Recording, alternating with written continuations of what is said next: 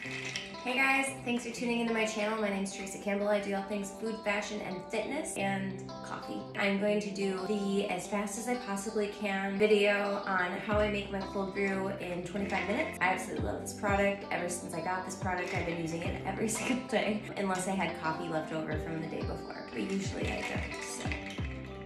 First, you're gonna fill your carafe to the fill line with room temperature water. Grab your favorite medium to coarse grind coffee, fill up the core, leave half an inch from the top for circulation.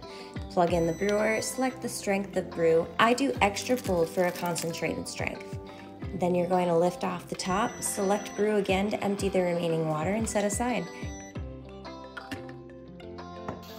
Cleanup is easy. Press the clean to circulate fresh water, empty the core and rinse, set aside to air dry.